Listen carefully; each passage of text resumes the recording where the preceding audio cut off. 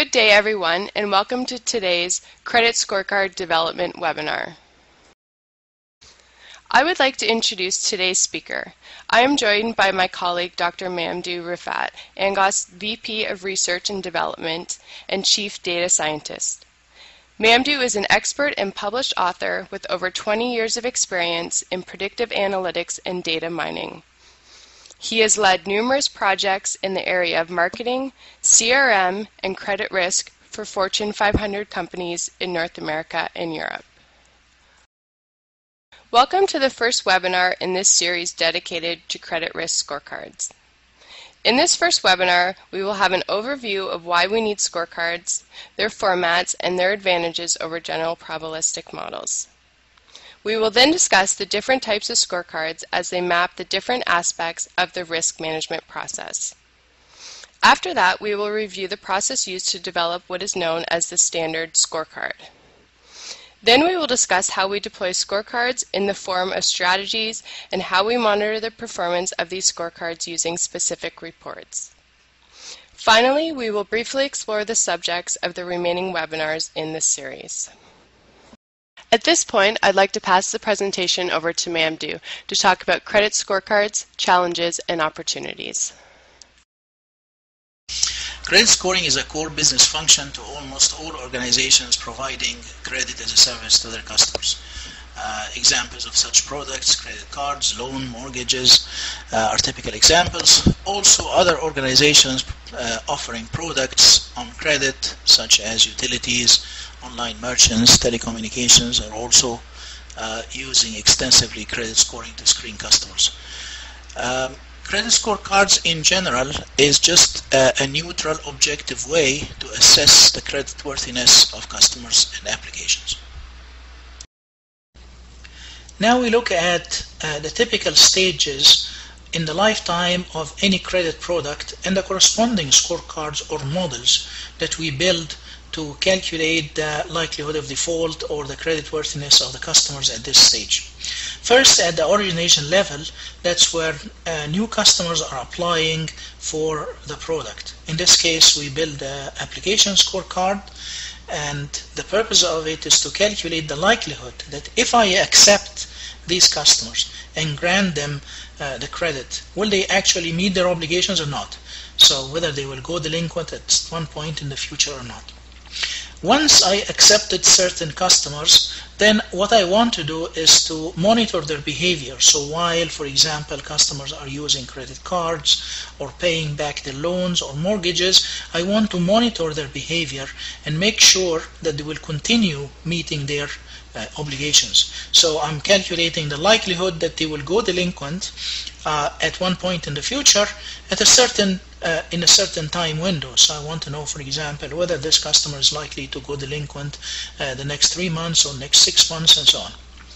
Finally, some of these customers will actually go bad will go into collections, will stop meeting their obligations, and will be labeled as in collections and uh, they have stopped payment completely.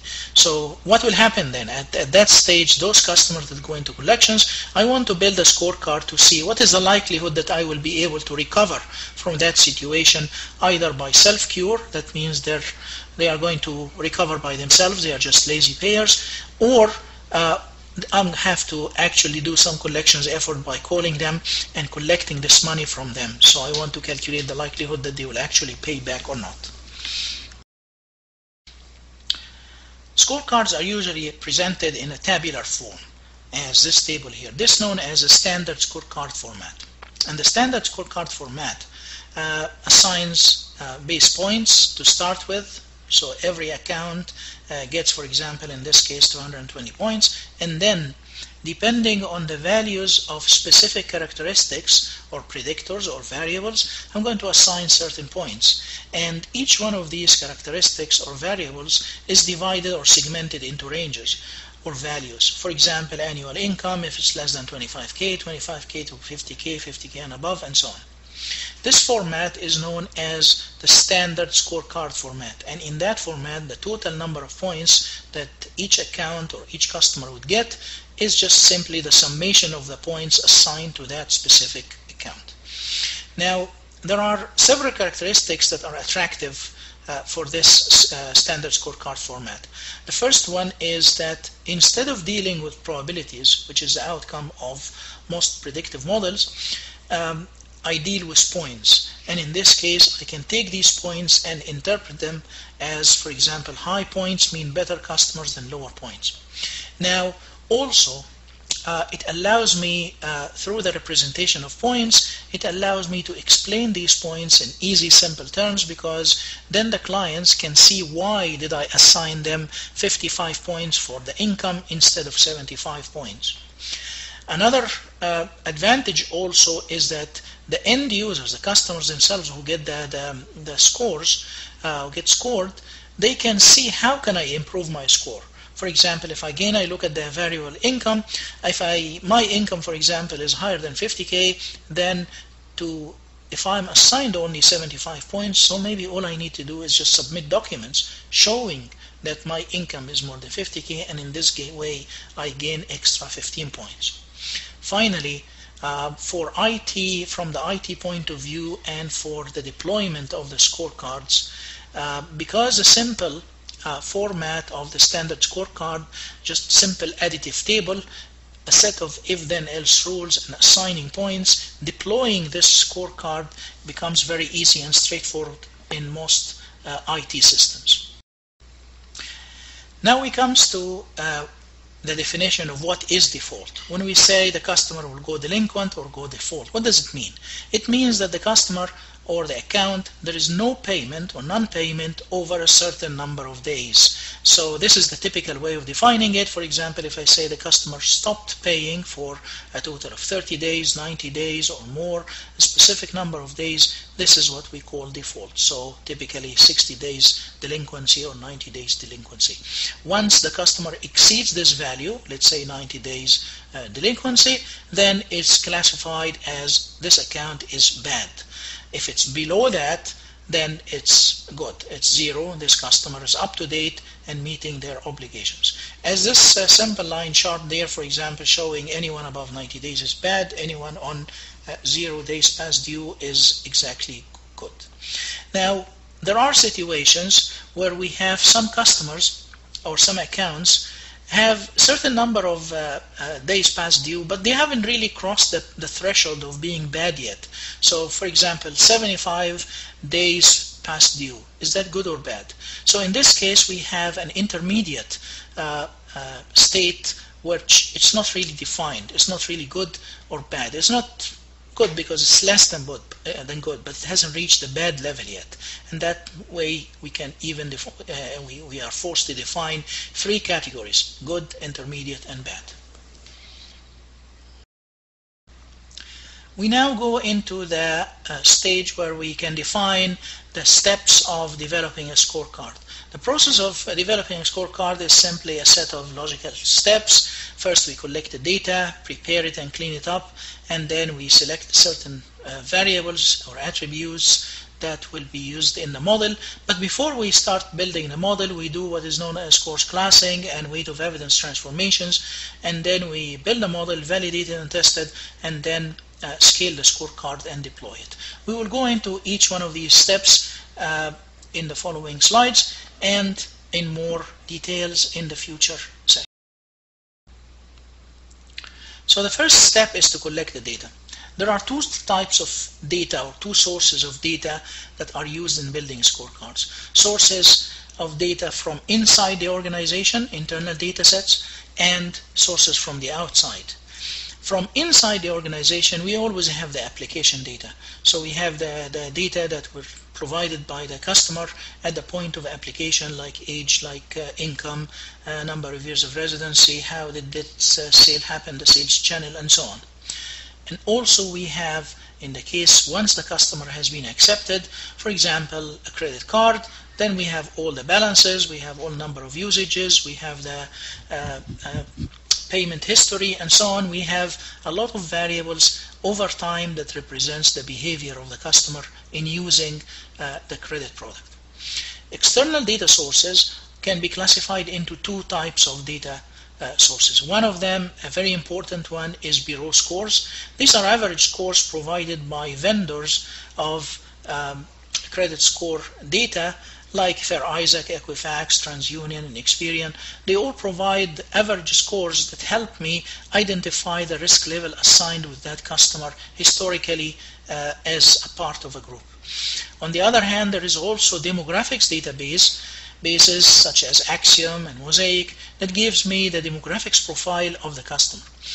Because these databases contain very large number of variables and packages, they are sold in groups and packages and so on, uh, I may end up with uh, literally a very large number of variables in the data. Especially the behavior, the scores, the demographics databases are usually very large data sets. And then I end up with uh, possibly thousands and thousands of variables. Then comes the task of merging all these files, appending them, uh, aggregating the files and the values, and this becomes a major task because in general all the steps of data preparation uh, which sometimes cannot be completely separated from the task of data identifying the data sources and collecting the data because we collect some data, prepare it, and then we discover we need more data, we go and collect more data and so on. So uh, the data preparation procedures is actually uh, the most uh, time consuming step in the whole scorecard development process, even in any uh, modeling process typically it consumes between 50% and up to 80% of the time in some cases. So we will be busy doing things like merging and appending and aggregating files, finding and treating outliers. Of course, we have to define what is an outlier. Later on in the series, we will go into more details in how to define outliers and how we treat them. Uh, missing values. I marked missing values here with two stars because actually if we look at any business database, we find that the most common value or most frequent value is missing. So missing values is a big thing and I have to identify and uh, come up with a systematic way of treating missing values. Where do they come from? What is their source? Why did they come in this uh, format? And what do I do with them? Do I replace them? Do I keep them as is? Do I treat them as, do I do some kind of imputation on them? What do I do with missing values is a very important question. Again, we will go into more details and the options and the procedures of doing that in, in the uh, future parts of this series. Uh, sometimes also the fields that I find in the database are not sufficient to build a strong scorecard. So maybe I need to calculate fields, averages, uh, aggregations, uh, I do summaries and so on. Um, then we will have to decide on three windows, three time windows that uh, specify the data. The first time window is the modeling window, the data on which I'm going to build the model. For example, I can say the data is going to be uh, covering the range of behavior from January 1st, 2012 to end of that uh, year. But what is the prediction window? When do I uh, how long will I, when I say default will happen, 90 day default will happen, when will that happen? Will it happen in a month, in two, in three, in five, what? And then when I also want to test the model, I have to test it on another time window uh, that is outside that modeling window because I have to see whether uh, the changes in the population during that time actually affected the scorecard or not. So we have to define three windows, the modeling window, the prediction window, and the out of time window. Having gone through the stages of uh, data, data collection and data preparation, I typically end up with really large number of variables, sometimes thousands. And um, we will not actually try to use all these variables in a model, but we will have to filter these variables because of practical reasons and so we have to select which of these variables promise to be more predictive and then out of that reduced set I start trying to build a model to select a finer set of variables that will enter the actual scorecard. So to do that we have to apply a filter where we use some measures of predictive power to select the best variables that I use in the model. Typical uh, predictive power measures use chi-square, information value, um, uh, Gini index, entropy variance, and so on. So there are a large number of predictive uh, power measures that can be used to automatically or uh, through an algorithm reduce the variables into a